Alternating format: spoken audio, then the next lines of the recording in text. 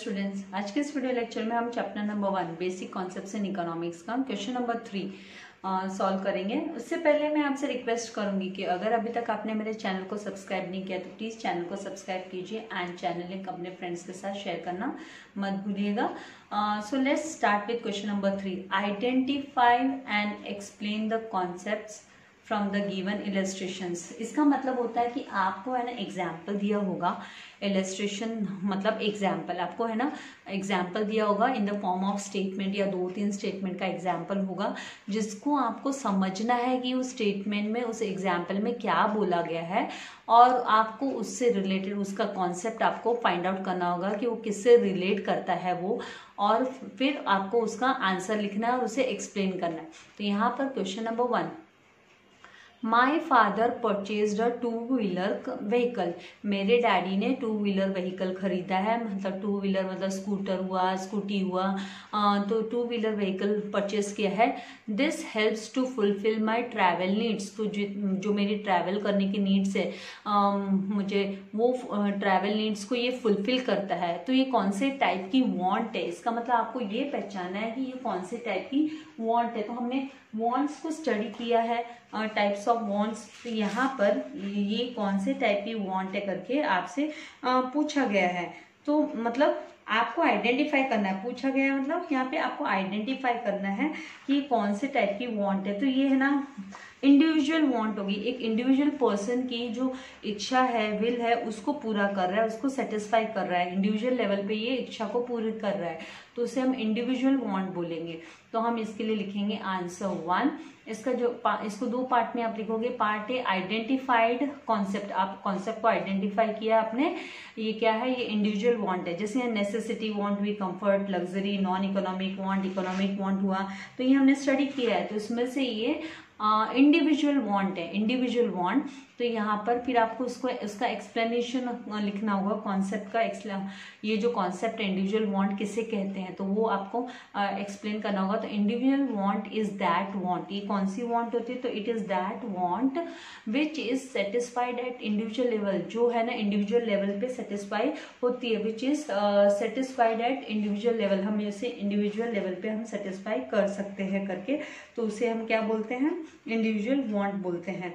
तो यहाँ पे इसका जो कॉन्सेप्ट है, आपका जो आंसर है, वो आएगा इंडिविजुअल वांट कॉन्सेप्ट ये यूटिलिटी का कॉन्सेप्ट है और यहाँ पर हमें से लिखना होगा individual want is that want which is satisfied at individual level individual level पे ये सेटिस्फाई होती है।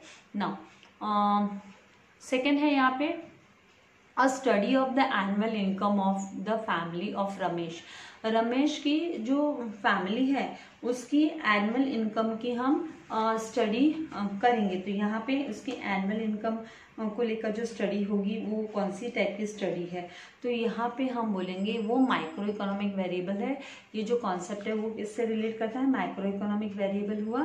तो यहाँ पर हम क्योंकि ये माइक्रो लेवल कैसे, एक फैमिली के बारे में हम स्टडी करें, एक फैमिली की इनकम को स्टडी करें तो माइक्रो इकोनॉमिक वेरिएबल हम एक्सप्लेनेशन में इसका लिखेंगे कि micro economic variable is that element ये वो एलिमेंट है that can be use to describe जिसे हम, है ना डिस्क्राइब करने के लिए यूज़ कर सकते हैं। क्या डिस्क्राइब करने के लिए यूज़ कर सकते हैं? तो to describe the behaviour of behaviour of an individual economic unit एक इंडिविजुअल इकोनॉमिक यूनिट का जो बिहेवियर है, उसको डिस्क्राइब करने के लिए हम यूज़ करते हैं माइक्रो इकोनॉमिक को।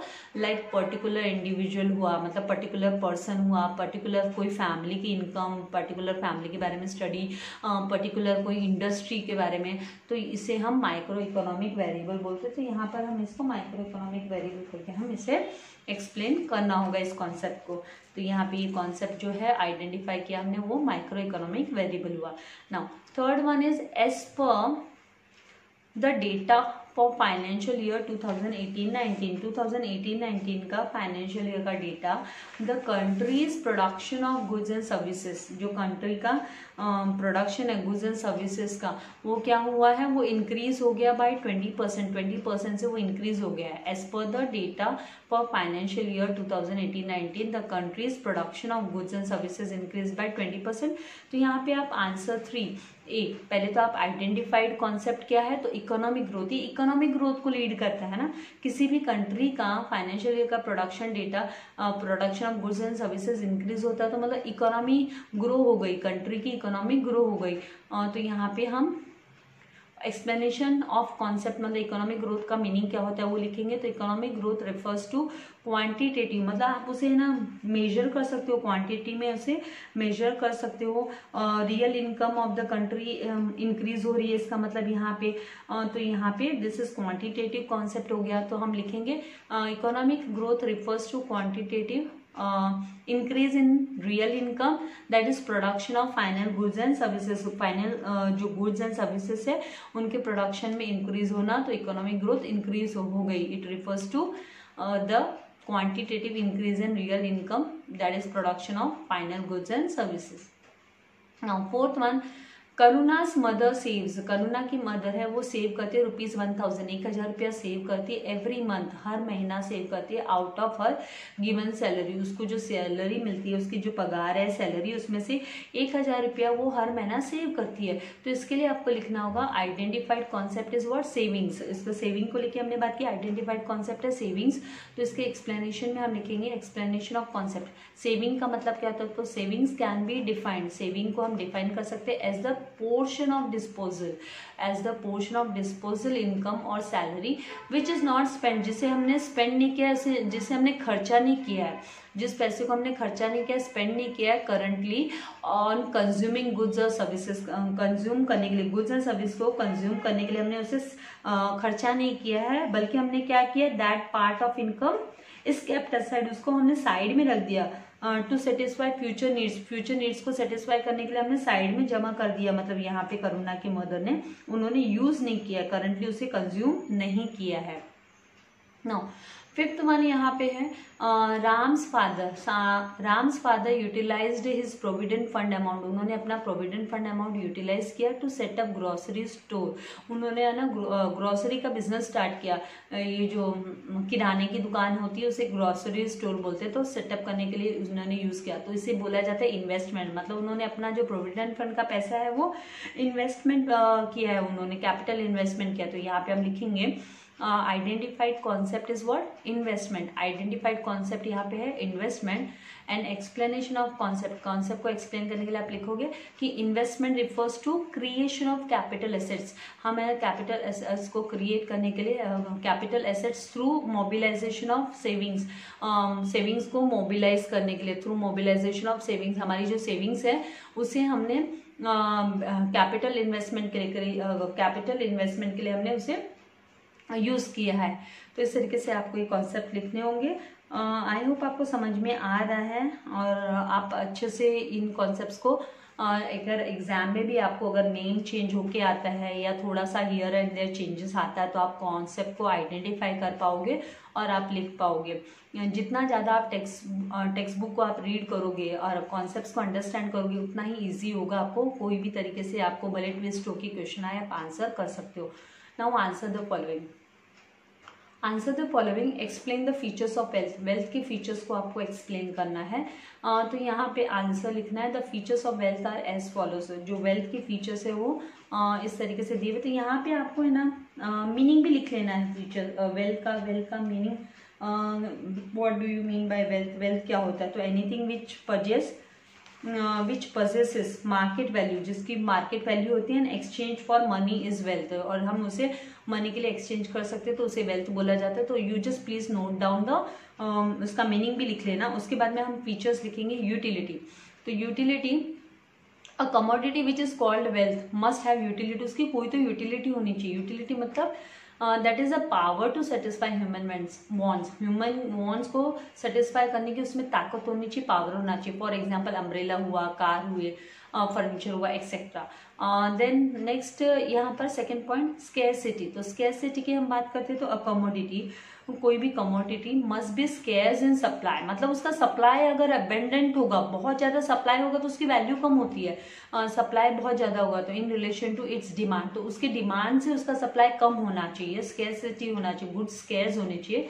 If it is to be included in the term of wealth अगर हम उसे वेल्थ के टर्म में हम इंक्लूड करें तो वो कमोडिटी है ना वो उसका सप्लाई कम होना चाहिए, उसकी डिमांड से कम सप्लाई होना चाहिए। तो for example all economic goods for which prices paid सारे के सारे इकोनॉमिक गुड्स जिनके लिए हमको प्राइस पे करना पड़ता है, जिनकी वैल्यू होती है जिनकी वैल्यू हम मनी टर्म्स में जिसे हम एक्सप्रेस कर सकते हैं। Now third one is transferability तो हम यहाँ पे ट्रांसफरेबिलिटी की बात करते हैं तो a commodity should be transfer transferable हम उसे ट्रांसफ़र कर सके मतलब एक पर्सन से दूसरे पर्सन को वो उसकी पोजेशन प्रोवाइड कर सके पोजेशन दे सके। तो यहाँ पे commodity should be transferable from person to person as well as place to place एक पर्सन से दूसरे पर्सन uh, या फिर एक जगह से दूसरी जगह हम उसको ट्रांसपोर्ट कर सके वो होना चाहिए पोजेशन ट्रांसफ़र कर चुके uh, तो commodity should be transferable if the good is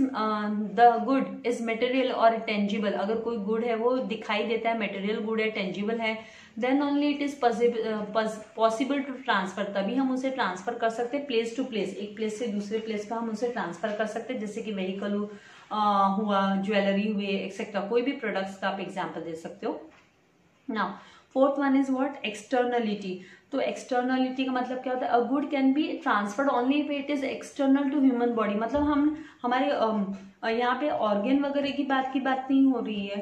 अभी तो चलो ऑर्गेन्स भी डोनेट करते उसे डोनेट किया जाता है। यहाँ पे गुड की बात आती है तो वो ट्रांसफर्ड होना चाहिए। ओनली वो ट्रांसफरेबल कब है? जब है ना वो जो एक्सटर्नल होगा ह्यूमन बॉडी से। फॉर एग्ज़ाम्पल कोई बैग हुई कोई चेयर हुआ गुडविल हुआ ऑफ़ द कंपनी का गुडविल हुआ uh, तो वो एक्सटर्नल होना चाहिए। It should be external to human body तो इस तरीके से आपको ये जो क्वेश्चन नंबर फोर आपका आंसर द फॉलोइंग है तो explain the features of wealth और don't forget to write the meaning of the wealth जैसे मैंने आपसे कहा वेल्थ का मीनिंग लिखना है आपको कि anything which possess market value and exchange for money is wealth तो आपको इस तरीके से बाद में उसके फीचर्स आपको लिखने होंगे।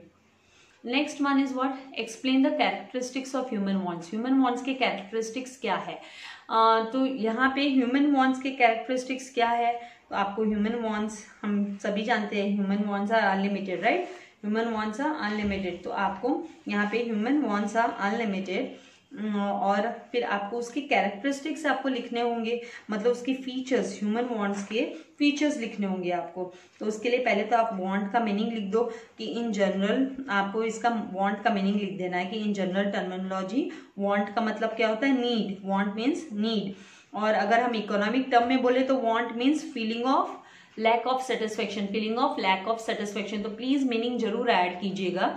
मैंने टेक्स्ट करना मीनिंग रह गया है तो यहाँ पे आपको मीनिंग ज़रूर ऐड करना है कि explain the characteristics of human want so answer number two you have to write down the meaning in general terminology want means need and in economics want means feeling of lack of satisfaction उसके बाद में the characteristics of human wants are as follows तो सबसे पहला characteristics wants are unlimited wants क्या है? Unlimited है। तो हम लिखेंगे human wants are unlimited and never ending वो कभी भी एंड नहीं होते हैं उनके वॉन्स का। ह्यूमन वॉन्स आपकी और मेरी वॉन्ट भी एंड नहीं होती है right so we have unlimited wants when one want is satisfied जब एक वॉन्ट सेटिस्फाई हो जाती है अनदर एराइजेस दूसरी वॉन्ट um, आके सामने खड़ी हो जाती है इच्छा right so the endless circle of wants continues throughout human life तो हमारे ह्यूमन लाइफ के थ्रू आउट थ्रू आउट पूरे लाइफ भर ज़िंदगी भर है ना अनलिमिटेड जो है वो endless circle of wants keeps on continuing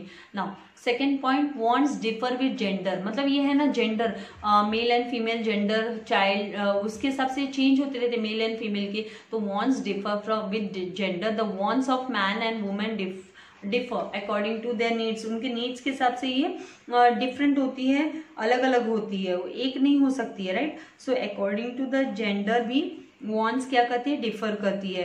क्योंकि जैसे वुमेन को कॉस्मेटिक्स चाहिए मैन को थोड़ी ना कॉस्मेटिक्स चाहिए। मैन को मैन की अदर वॉन्ट होगी अदर डिज़ायर होगी तो यहाँ पे wants differ with gender then third one wants differ due to preferences preferences की वजह से भी ये डिफरेंट मतलब किसकी क्या चॉइस है किसको क्या हैबिट है किसका क्या टेस्ट है तो उसके हिसाब से भी चेंज होती है। तो the taste habit preference etcetera of a person differ from other so wants too differs with preference तो ये भी है ना प्रेफरेंस के हिसाब से चेंज होती है डिफर uh, करती है अलग अलग होती है एक जैसे नहीं होती है। Now wants wants differ with seasons ये सीजन्स के हिसाब से भी डिफर करती है। तो human wants also keep changing with seasons seasons के हिसाब से चेंज होती रहती है। For example cotton clothes are needed in summer cotton clothes की हमको ज़रूरत पड़ती है समर में। और जो वुलन क्लोथ्स होते हैं, जो ऊनी कपड़े होते हैं, उनकी ज़रूरत हमें कब पड़ती है? वुलन क्लोथ्स की ज़रूरत हमें पड़ती है विंटर सीज़न में। उनकी रिक्वायरमेंट हमको होती है, वो विंटर सीज़न में हमको रिक्वायर्ड होते हैं। वुलन क्लोथ्स हमको विंटर सीज़न में चाहिए होते हैं। Now fifth one wants are recurring in nature मतलब several human wants occur again and again बहुत सारे वॉन्ट्स ऐसे जो बार बार वो रिपीटेडली uh, वो अकर करती है. While some might be occasional और कुछ ऐसे हो सकते हैं जो ओकेजनल हो सकती है. ओकेजनल वॉन्ट्स हो सकती है. तो यहाँ पे recurring in nature wants are recurring in nature then the next one is wants differ with age age के हिसाब से भी वॉन्ट डिफर करती है. Um, अगर uh, बच्चा है तो उसे टॉयज चाहिए. मिडल uh, एज है तो उनको कपड़े वगैरह का ज़्यादा शौक होगा. एंड ओल्ड एज के है तो उनको रामायण बुक्स ये मतलब रिलीजियस बुक्स की रिक्वायरमेंट होगी. तो यहाँ पे डिफर विद द एज तो human wants and their satisfaction differ with age for example a toy may satisfy the want of a child but it will not satisfy the want of college student college student को scooty चाहिए bike चाहिए चाहिए mobile चाहिए right so it is different now wants differ due to culture culture के हिसाब से भी want differ करती है वॉन्ट डिफर करती है। तो यहाँ पर due to culture want differ so difference in the culture influences wants that are related to food जो कि है ना फ़ूड से रिलेट करती है ड्रेसिंग स्टाइल हुआ तो ये कल्चर पे भी डिफर uh, कल्चर uh, के हिसाब से भी ये डिफर करती है। आई होप आपको समझ में आ गया कि किस तरीके से आपको आपके आंसर प्रेजेंट करने हैं, कैसे लिखने हैं। तो नेक्स्ट वीडियो लेक्चर में मैं आप लोगों के लिए question number five and question number six का सोल्यूशन लेकर आऊँगी। तो तब तक आपको ये सारी नोट्स अपने नोटबुक में नोट डाउन कर लेने हैं और अगर आपने पहला जो ऑब्जेक्टिव्स का वीडियो नहीं देखा है, question number one and two का तो वीडियो को ज़रूर देखिएगा। और वीडियो फ्रेंड्स के साथ शेयर कीजिएगा लाइक करना मत भूलिएगा। Thank you very much God bless you all dear students